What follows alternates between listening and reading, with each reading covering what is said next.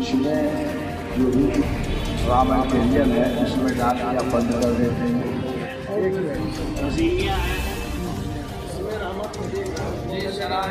सराय दोनों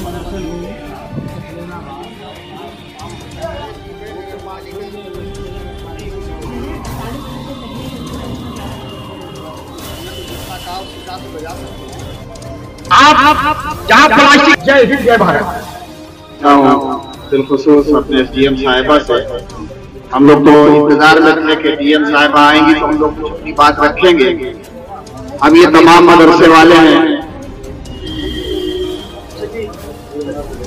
और हम लोग एक बात रखना चाहते ये कि इस ज़बरदस्त गर्मी में जहाँ सारे स्कूल बंद हैं और बच्चे बीमार पड़ रहे हैं, वहाँ मदरसों को खोला गया है सात बजे से साढ़े ग्यारह अब आप सोचिए कि गर्मी में जब हम लोग बर्दाश्त नहीं हो रहा, मौतें हो रही, लू लग रही है तो कम से कम और जिलों में जैसे प्रयागराज है, बस्ती है, कुशीनगर है, वहाँ के डीएम साहब लोगों ने ऐलान करके इस मदरसों को बंद कर दिया है।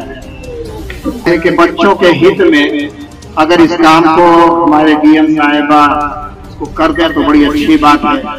इसलिए कि बच्चे काफ़ी बीमार पड़ रहे हैं। दूसरी बात है कि बकरीद अमन और शांति के साथ जैसे होता आया है होता रहेगा। और हम कहीं से भी ये चूक नहीं होने देंगे किसी दूसरे को कोई तकलीफ़ हो की तरफ़ से बहुत अच्छा इंतज़ाम पॉलिथीन का होता है। हम शुक्रगुजार हैं लोगों के ये लोग पॉलिथीन जगह जगह तकसीम करते हैं और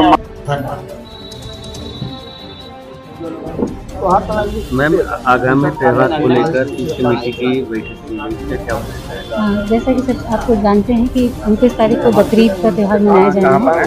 तो आज पीस कमेटी की बैठक बुलाई गई थी उसके दृष्टिगत और सभी को ये निर्देश दिए गए हैं कि कोई भी जो है खुले स्थान पर कुर्बानी की कुर्बानी नहीं करेगी और सभी लोग जो है अपने अपने घरों में कुर्बानी करेंगे जो पहले से हमारे स्थल चिन्हित हैं।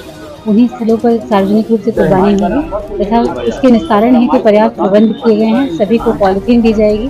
सभी लोग उस पॉलिथीन में उसके अक्षय पदार्थ को रखेंगे और नगर निगम नगर पालिका की गाड़ी जब जाएगी तो उस गाड़ी पर ढककर उस अवशेष को ले जाया जाएगा और एक निर्धारित स्थान पर ही उसको गड्ढे में दफनाया जाएगा। इसके अतिरिक्त इनको निर्देश दिया गया है कि कोई भी व्यक्ति सड़क पर जो है नमाज़ नहीं पढ़ेगा। नमाज़ ईदगाह के अंदर ही पढ़ी जाएगी।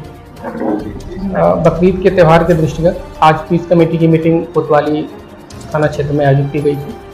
यहाँ पे सारे लोग उपस्थित हुए, सबसे बातचीत करी गई कि कहीं कोई समस्या तो नहीं है, कोई व्यवधान तो नहीं है। पिछले साल या पिछले पाँच साल, दस साल में कोई समस्या तो नहीं हुई। इसी फीडबैक के अनुसार ईओ साहब भी थे एसडीएम साहब भी थे और अन्य विभागों के लोग भी थे।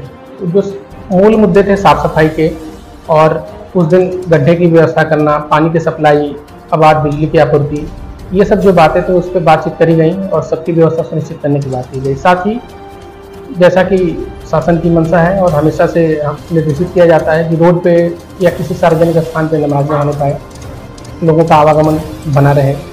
किसी प्रतिबंधित जानवर की कुर्बानी न दी जाए, जिन परंपराओं का निर्वहन होता है, उन्हीं परंपराओं का निर्वहन हो, नई परंपरा की शुरुआत नहीं करनी है और भाईचारे के अनुसार त्यौहार मनाना है।